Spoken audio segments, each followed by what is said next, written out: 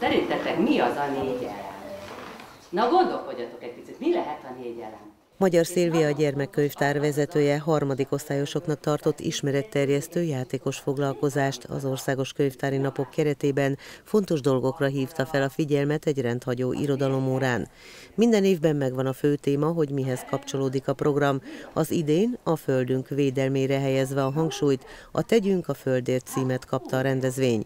Az első foglalkozás a kézműves foglalkozás volt de nem csak kézműveskednek a gyerekek, hanem megismerkednek a négy elemmel, és a születésüknek megfelelően készíthetik el a saját sárkányukat, akár a tűz, a víz, a levegő vagy a föld sárkányát.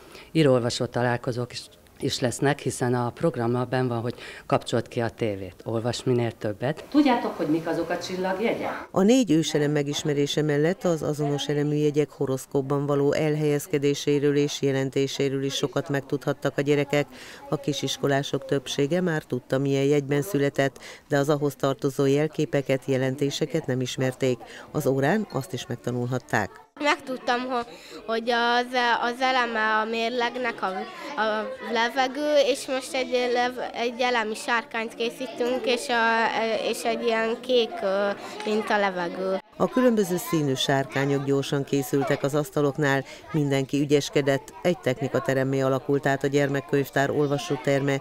A közös munkának, beszélgetésnek nem csak az elkészült ceruzatartó volt az eredménye, miközben papírból vágták a sárkányokat, rajzoltak, ragasztottak a környezetünk védelméről, egymás között is beszélgettek a gyerekek. Nem használunk olyan sok mondjuk műanyag zacskót, meg mondjuk nem tüzelünk szélben, és nem szennyezzük a környezetet, nem szemetelünk. A könyvtári napokon író-olvasó találkozóra is várják a gyermekeket, és ami elmaradhatatlan, a mese vár, mindenkit olvasásra vár.